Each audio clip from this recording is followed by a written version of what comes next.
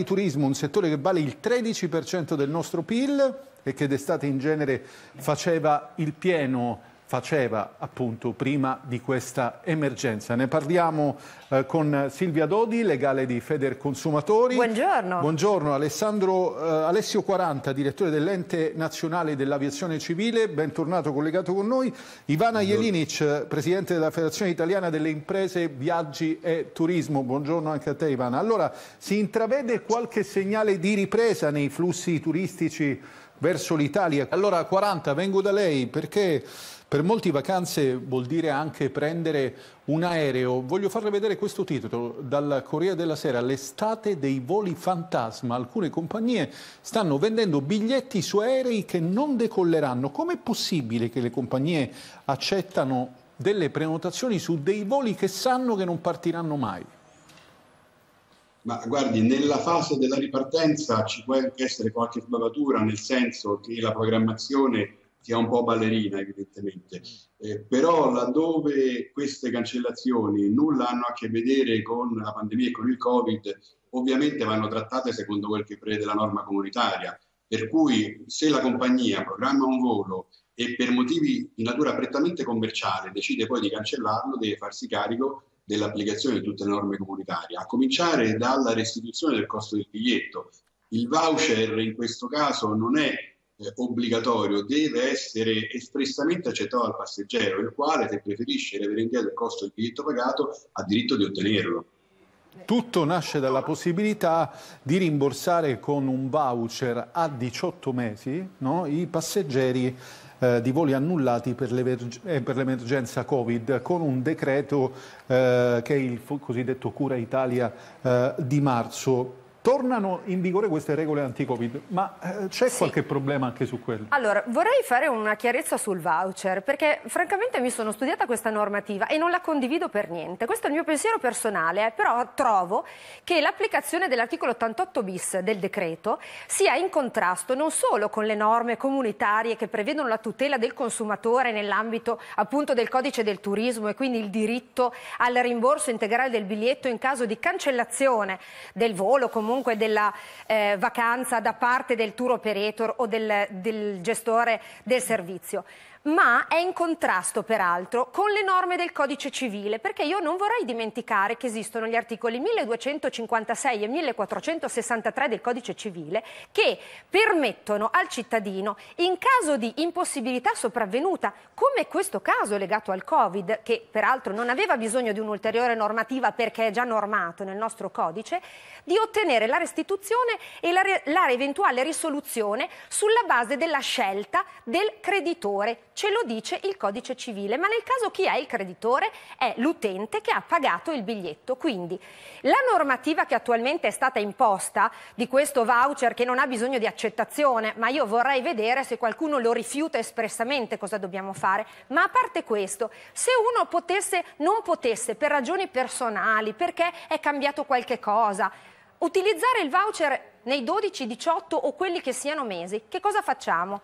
Che il gestore si tiene i miei soldi e io non usufruisco di un servizio, bene, questo secondo me è con, in contrasto con le norme del codice civile perché non possiamo disapplicare il codice civile in relazione ad una norma che è stata istituita per una situazione temporanea. 40, lei che dice, visto che è finito il periodo di emergenza, se la compagnia annulla un volo forse deve risarcire i passeggeri, punto e basta. Ma guardi, ci sono alcune, alcuni paesi, anche in Europa comunitaria, dove vigono delle restrizioni alla libera circolazione, soprattutto nei confronti dei cittadini italiani. Eh, ce ne sono molti nel mondo dove la pandemia ancora evidentemente fa paura e sta creando problemi, altri ancora in Europa dove ci sono delle restrizioni.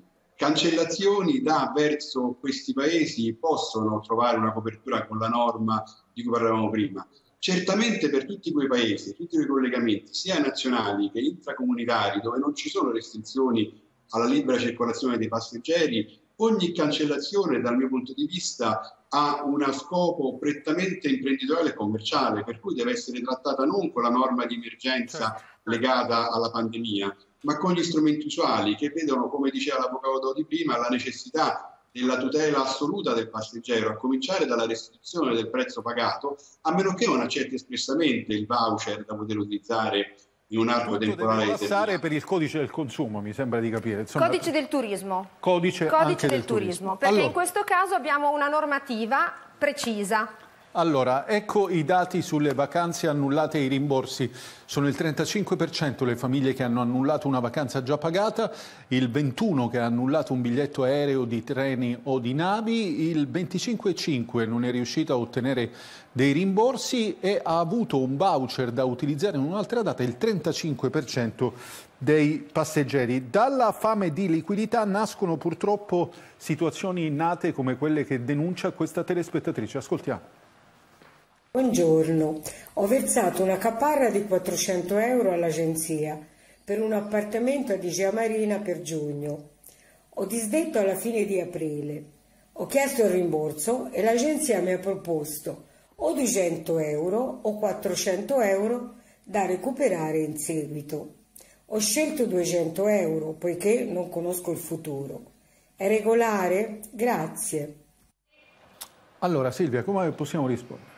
Eh, allora, innanzitutto bisogna capire una cosa, se l'agenzia per cui la signora ha fatto la prenotazione è un servizio turistico oppure semplicemente un'agenzia immobiliare che mi affitta l'appartamento, perché cambia la norma di riferimento, cioè che cosa dobbiamo applicare al caso?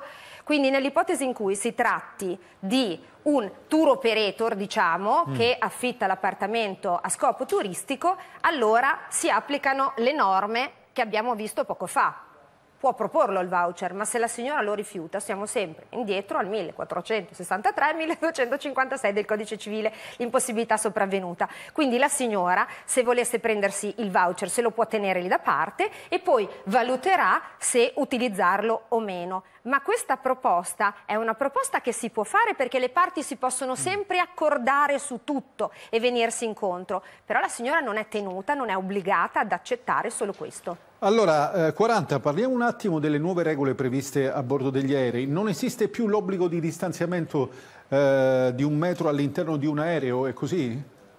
No, l'obbligo ancora esiste, può essere derogato a certe condizioni che devono essere tutte soddisfatte, sono previste nell'ultimo DPCM varato dal governo l'11 giugno. Le condizioni sono la presenza a bordo di particolari filtri che si chiamano filtri EPA e che sono in grado di intercettare il 99% del particolato presente nell'aria. Ovviamente è necessario assicurare la misurazione della temperatura ai passeggeri prima che salgano a bordo, l'obbligo della mascherina per eh, almeno quattro ore consecutive da sostituire oltre le quattro ore, eh, la salita e discesa rallentata, quasi individuale del passeggero, il quale deve mettersi a sedere nel posto assegnato e non più muoversi se non per estreme necessità, Mm. un'autocertificazione che attesti la, non aver avuto contatti con soggetti eh, che sono stati esposti al virus o non aver avuto sintomi entro un certo periodo di tempo del virus e una limitazione sulla